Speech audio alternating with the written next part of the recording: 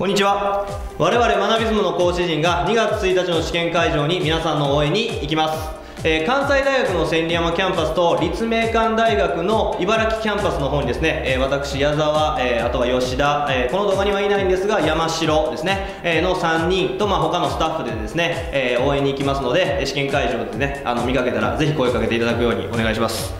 えー、ちなみにですねこの、えー、絶対合格と書かれたのぼりが目印になってます、まあ、スタッフはあのみんなウィンドブレーカーを着てるんですけどね。あの下にもですね、えー、来期カンカン同率専門塾というか今年度やね今年、えー、カンカン同率専門塾から難関次第専門塾に変わりますんで、えー、こちらの新しいロゴと学び像と書かれたね、えー、この上りを持ってますんで、えー、これを目印にしてくれたらなと思います、えー、それではね、えー、試験会場で会えることを楽しみにしてます。みんな頑張ってください。頑張ってください。待ってます。入試情報から勉強法まで受験生に役立つ情報を何でも話していきます。試験トークそれでは始めていきましょう。学びズムの山城です。学びズムの江田です。どうもこんにちは。こんにちは、えー、今回の質問になります。はい。えー、本番の結果を左右する、えー、イメージトレーニングとはどのようなものですか？という質問になりますけれども。なるほど。イメージトレーニング。イメトレほんま大事、うん、っていうかもうこんなこんなこと俺もう1年間通してもうずっと言ってきたはずやから 言ってきね、言ってきたはずやから、はい、この時期これみたいな感じになるかもしれないけど、でも大事なんでね。そうですね。特にまあほんまにこの時期は。ほんまに最後の最後、あの大事なんで、うん。どどうするんですか？どうするんですか？まあどうしてました？どうしてました？うん。そうですね。まあありとあらゆるまあそのいいことばっかりいいことっていうかいい風になっていくということはもちろん望んではいますけど、まあ何かしらのアクシデントはまああるという前提であのそそアクシデントがあった時にあたふたしないであるとかあの対処できるように、まあ、状況として悪いものを想定する、うん、っていうことはしてましたよね、まあ、例えばそれこそあのよくある例としては英語とか現代文でもう読んでてももう何読んでるかわからんみたいな頭真っ白になるとかっていうのはまあよくある話ですけどそういったことを想定してじゃあその時にどう対処すんねんであるとかっていうまあ最悪な状況というのを想定してあ対応イメージトレーニングをしておく。でまあ本番でそれをもし出すとしてもうまく対応するっていうイメトレは大事かなと思いますね。なるほど。はい。先生は。はい。あのー、まあ俺がもうこれやと。もうイメージトレーニングの仕方これが正解なんやっていうふうに思ったイメージトレーニングは受験終わってから知ったんですけど、はい、大学2回生ぐらいの時かな、はい、その本を読んでて、うん、あこういう一流の人たちはこういうイメージトレーニングをしてるんやって思ったイメージトレーニングの方法が、はい、あのオリンピックのね、はい、昔のオリンピックでもうあの2020にあのソフトボールがまた復活しますけど、はい、2008年に1回終わったんですよ。なくなりましたね。なくなったんですよ、はい、で2012、2016はあのオリンピックにソフトボールがなくて、うん、で2020にまたソフトボール復活すると、はい、東京オリンピックで、はい、でその2008年でねあのに女子が日本の女子があのソフトボール優勝してるんですよ。はい。しました。優勝してるんですよ、うん、その時にあのめちゃめちゃ有名だったもみんな絶対知らんと思うけど上野選手というね、うん、あの選手ピッチャーがすごく有名で、うん。うん、上野選手の、まあ、功労というか、上野選手の活躍によって、そのオリンピックで優勝できたんだっていうのをメディアではすごくこう取り上げられてたんですけど、そのまあ影の立役者として俺はすげえなと思ってる人がいて、その人が西田せ西田先生という、あのメンタルコーチ。その、チームのその女子オリンピックのチームのメンタルトレーナーを務めてた西田先生という、うん、えー、先生がいるんですよね、うん、その先生はあのイメージトレーニングがめちゃくちゃ大事やと。いうふうに説いたあの問いその選手たちに説いたんですけど、そのイメージトレーニングの方法が斬新で、普通さで俺も高校生の時、うん、もうそれを知るまではずっとイメージトレーニングって本番あるかもしれない予期せえへん出来事までしっかりと考えてそれに対してどう対応できるか、うん、どう対応するかっていうのを考えてうん、それは今あの山城先生も言ったけど、多分ほとんどの子やってるし、みんな、あのー、もうよほど何も考えんと勉強してる子以外は、やってることやと思う、でもだからその西田先生は、うん。そのオリンピック優勝をするイメージトレーニングをしなさいっていう、えーそのイメージトレーニングをしなさいって言ったんではなくて、うんうんうん。あのじゃあ本番試合でどんなことが起こるか考えて予想して練習しなさい。そんなそんな次元のイメージトレーニングの方法ではなくてどういうイメージトレやったかというと、うん。あの勝った時のうん。自分を想像しなさいと。本番そのその時にあった、そのその本番あることを想定してしたイメージトレーニングじゃなくて、うん。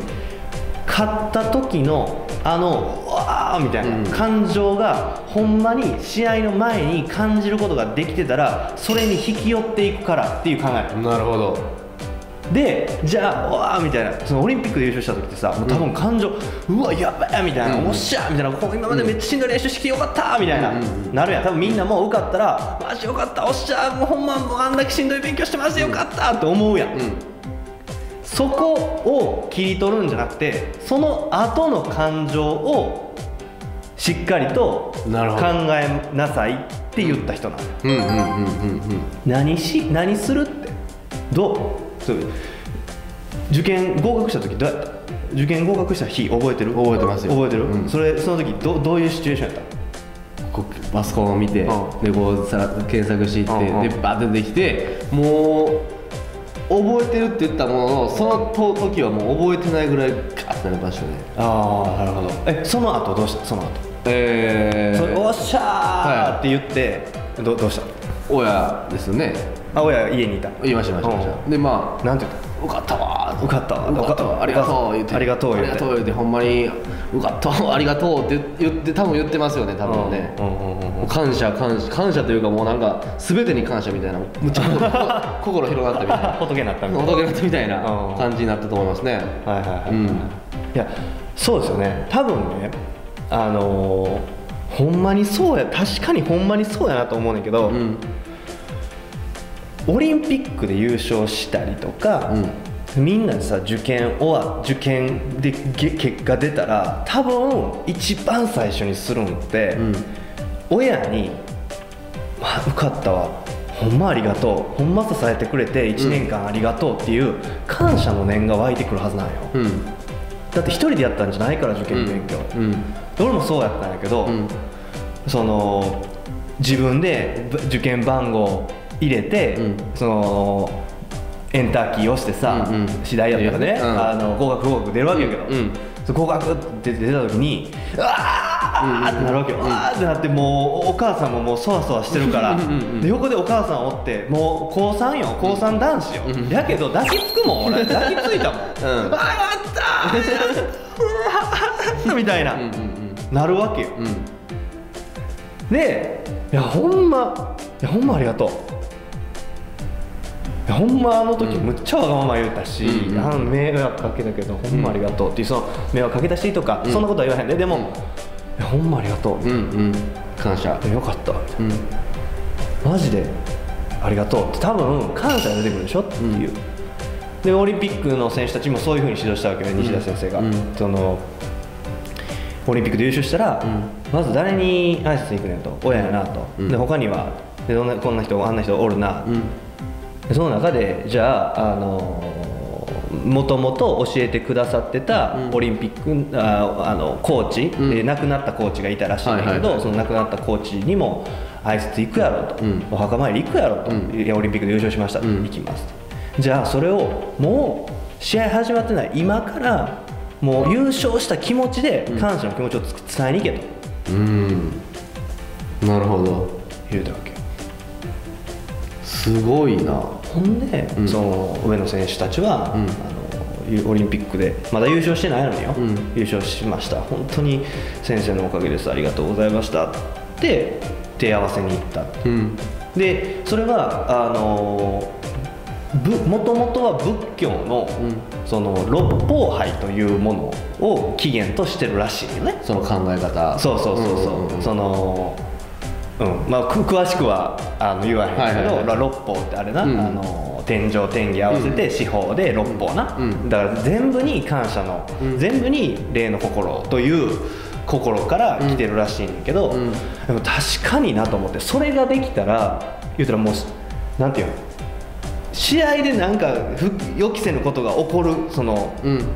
イメージトレーニング、うん。優勝してやったーというところのイメージトレーニング、で優勝しました。ありがとう。ほんまにありがとうっていうところのイメージトレーニングってもう次元ちゃうなと思って全然、だからあこれが正しいイメージトレーニングの方法やってんな今これからそのイメージトレーニングせなあかんシチュエーションになった時は、うん。そういうふうに心がけようって思ったのが、まあ、今でも覚えてるから今でもまあそういうふうに大事なと時は実践するんですけどね、うんうんうんまあ、その高校生の時と比べたらそういうシチュエーション少なくなったなと思うけど、うんおっさんになったからね、うんうんでもそういうのがあのめっちゃ大事やなっていうふうに思います。はこのイメージトレーニングすごいですね。い、いやほんまにそれはね、やってください。だからねみんなもう今想像してあの受験票があんねん。受けに受けに行く時に持っていく受験票それ持って帰ってで家に置いてるわけよ。で試験発合格発表日になったら、あのー午前発表の学部はい。多いからね、で午後発表何時から発表の学部みたいな分かれてるわけよサーバーが混むから、うん。で、えーそう決まった時間にああの自分の番号を入れてな、うん自分の番号入れてんねんね。想像してや。自分の番号を入れて、でもうエンター押したらもう合格合格出んねん。うん。行くでと。えやるでと。押すわけよ。うん。そしたらした。合格がバーンって出てるわけよね。合格って。うん。はあお母さんお父さんありがとうって。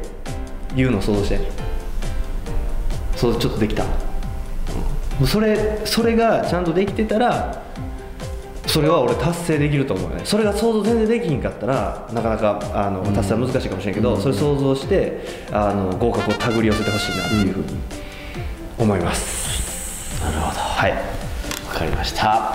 それでは、えーこの動画はこれで終わりたいと思います。ありがとうございました。ありがとうございました。動画見てくれてありがとう質問は説明欄にある LINE アットに登録してそこから投稿するようにお願いします。チャンネル登録もよろしくね。よろしくお願いします。